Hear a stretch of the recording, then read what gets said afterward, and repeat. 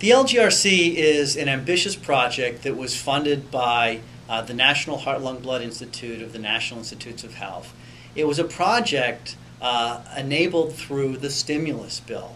Um, it was an opportunity that I and my colleagues in this project had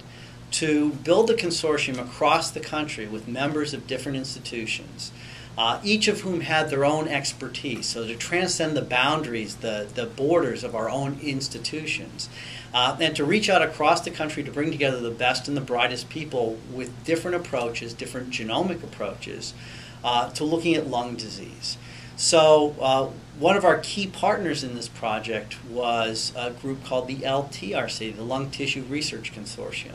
And they had collected samples from patients, uh, really our third group of partners. Uh, the patients uh, who had lung disease, who had biopsy samples, who donated those samples uh, for research. So what we ended up doing was putting together a proposal where each expert would assemble a team that would use a technology to get a snapshot, a particular snapshot of lung disease from one perspective or another.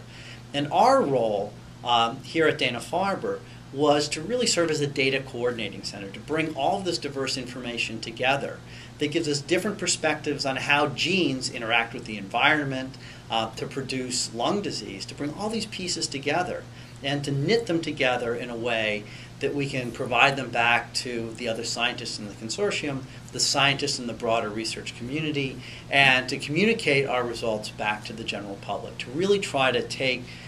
genomic science, right, the science Bill Clinton called the science of the 21st century, to take that science and use it to address critical issues in lung disease.